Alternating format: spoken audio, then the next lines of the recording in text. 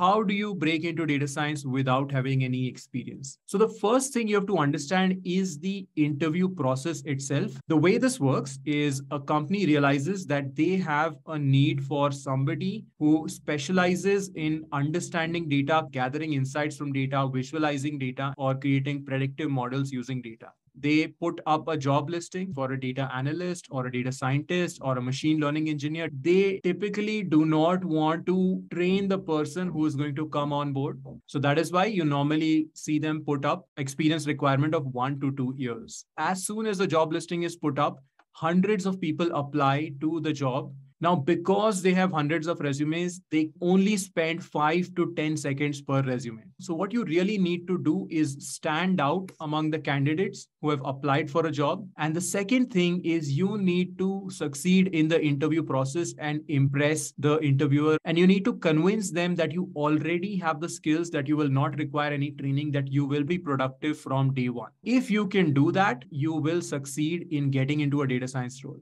So I want to talk about three things that will help you stand out in the job application process. The first thing is to build the skills that are necessary for your first data science job.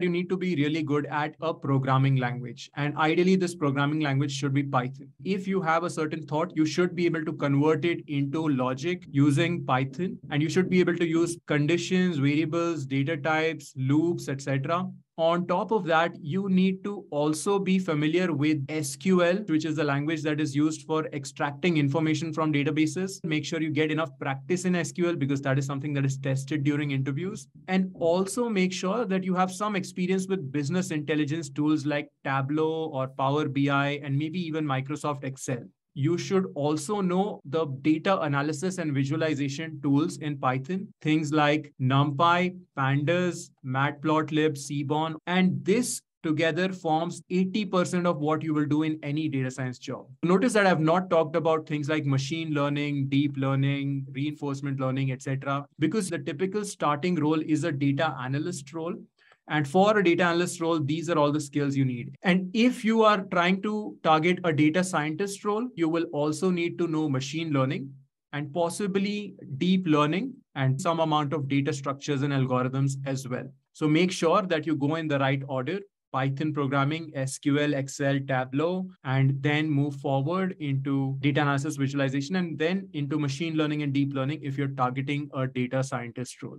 Now, the second part is to build high quality real world projects. Because you don't have any experience in the domain, you need some other way to convince the recruiter or the hiring manager that you already have the skills. It's not enough to just mention that you have those skills in your resume. The way you provide evidence, the way you demonstrate that you have these skills is by building high quality projects. One project that you should build should require some usage of SQL or some usage of some business intelligence tools like Tableau. And every project that you work on, you should put into your resume as well and make sure that it is a large real world data set, not a toy data set with a few hundred rows or a data set that everybody uses or every course uses. Talk about the data set when you're mentioning the project in your resume, link to the project so that people can find it online somewhere. And the second project you should have is on exploratory data analysis and visualization, where you use Python and its ecosystem of libraries like NumPy and Pandas to analyze a large data set possibly containing hundreds of thousands or millions of rows, where you create several different types of graphs, ideally even some interactive graphs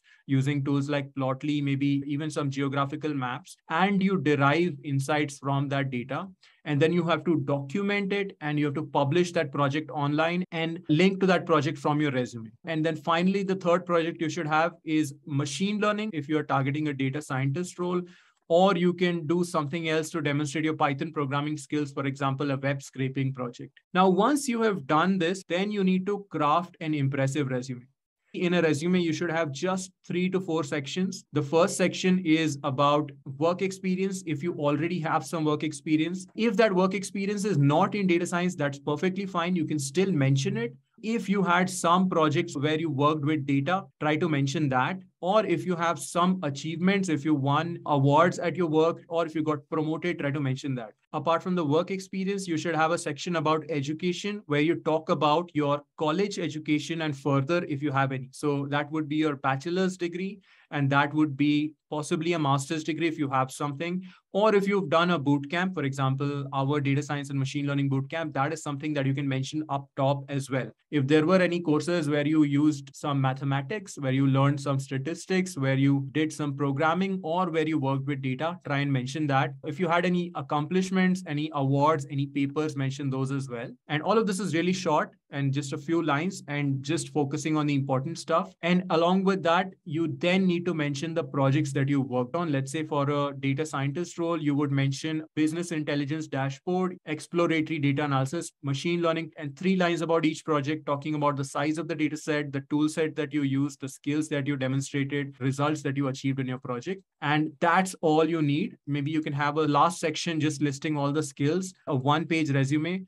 which highlights all of these things in the right fashion is good enough. Now you need to apply to jobs the right way. If you are just starting out in your career or if you're still a student, then you should be starting out with a data analyst role for a data analyst role, there is generally not much expected in the form of experience. And even if there is an expectation of experience, you can offset that by presenting your projects and make sure that each project mentioned in your resume includes a link and opening up that link shows that project online on your website or on your Jovian profile or GitHub. The idea here is if somebody looks at your project and reads through it a little bit, they become convinced that you already have the skills to be productive at the job and they shortlist you and move you through the interview process. With a little bit of interview preparation where you have to practice some sql programming a little bit of python programming a little bit of statistics and probability puzzles you will be able to succeed in the interview process if you have the right skill set. If you have some experience already, let's say you have four to five years of experience and you want to move into the data science domain, maybe into a data scientist role or a senior data analyst role, then try to pick a company which is in the same domain as your prior experience or your education. For example, if you're a mechanical engineer and you have been working in the mechanical engineering domain for some time, maybe try to look at a company that is working on electric cars or that is working on energy in some fashion. We had people, for example, who had experience in marketing via an MBA or via a previous job, and then they were able to apply to a marketing firm, but into a data analyst or a data scientist scientist role. And the benefit that you get here is because you are at the intersection of that domain and data science, that puts you in a very exclusive pool of talent. If you are getting rejected even after doing all of the above things, try to get an internship. If you've spent a month, you've applied to several jobs, and you think you've done everything else right, and if you still feel things are not working for you, then get an internship. This is something that has worked extremely well, especially for people who have had a gap in their career.